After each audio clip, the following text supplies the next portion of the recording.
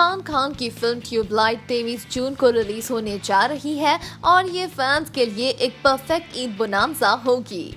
सलमान खान इस बात से बखूबी वाकिफ है कि फैंस न सिर्फ़ सलमान की रिलीज़ के लिए एक्साइटेड है, पर उन्होंने trailer songs first look videos और बाकी सारे एलिमेंट्स को भी खूब एंजॉय किया है।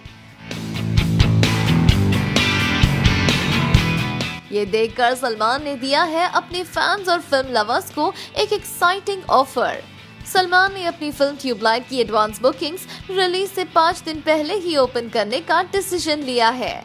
ये तो फैंस के लिए ब्रेकिंग न्यूज़ है, क्योंकि नॉर्मली फिल्म्स की बुकिंग रिलीज़ होने से दो या तीन दिन पहले ही ओपन होती है। अब ट्यूबलाइट की एडवांस बुकिंग पाँच दिन पहले से ही होगी तो ये तो सारे मूवी गोवर्स के लिए एक एक्साइटिंग न्यूज़ है।